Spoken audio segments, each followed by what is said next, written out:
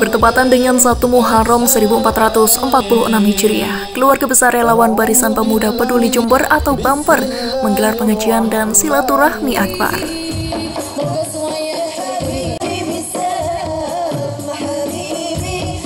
Kegiatan di Jalan Manggar 11 Gebang Poreng, Kecamatan Patrang ini menampilkan kirap obor, penampilan hadroh, samroh, gambus maupun pengajian umum.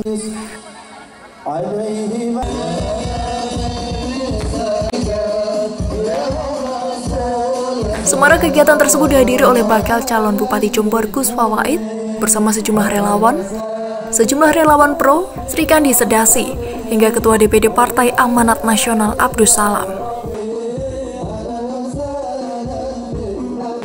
Dihadiri ratusan jamaah, komunitas relawan Bumper juga menggelar deklarasi dan orasi memantapkan komitmen untuk mendukung Gus Fawaid agar maju Pilkada 2024. Maka kami, Barisan Pemuda Jember atau Bumper berdeklarasi Gus Fawaid maju sebagai Bupati Jember 2024 29 dalam sebutannya, Gus Fawaid menyambut baik kegiatan tersebut karena para peserta sangat antusias.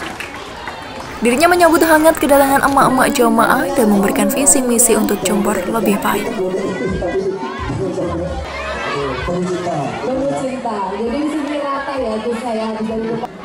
Saya nggak mau jauh-jauh dari emak-emak. Yang pertama, saya ucapkan terima kasih karena kemarin panjenengan milih Pak Prabowo dan Mas Gibran, betul?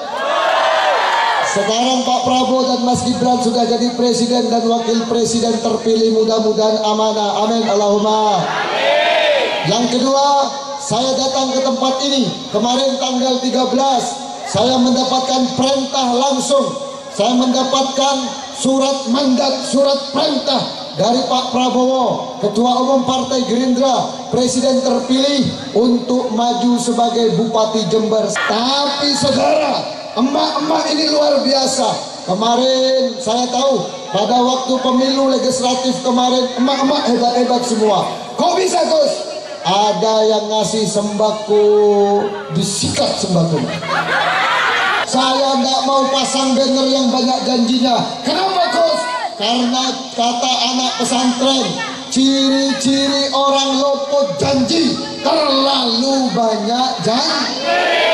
Maka saudara doakan Gus Wawaid kalau Gus Wawaid jadi Bupati Jember kiranya luput janji kiranya tidak selamat kiranya tidak bawa manfaat untuk masyarakat Jember mudah-mudahan tidak sampai nyalon Bupati Jember amin Allahumma Wahyudi selaku ketua komunitas Bumper sangat optimis Gus Fawaid dapat menjadi pemimpin yang baik dan amanah karena sangat mewakili semangat kaum muda dengan kemampuan yang sudah mumpuni. Dirinya berharap Gus Fawaid bisa membawa perubahan ke arah yang lebih baik. Tahu banyak partai yang mendukung. Begitu semarak dengan datangnya Gus Fawaid dalam acara pengajian bumper bersolawat bersama Gus Fawaid Bupati Jember 2024-2029 harapannya Jember harus lebih baik daripada Jember hari ini. Karena Jember hari ini masih banyak kekurangan harapan saya Gus Fawaid Bupati Jember 2024 lebih baik, lebih bagus, lebih makmur.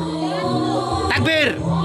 Bemper sudah mendekati hampir di seluruh kecamatan, di 31 kecamatan sudah siap untuk mendukung Gus Fawaid.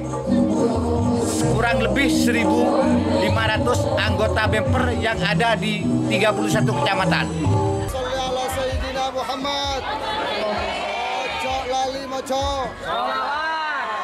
Dari Jember, Alianto Jember, Satu TV melaporkan.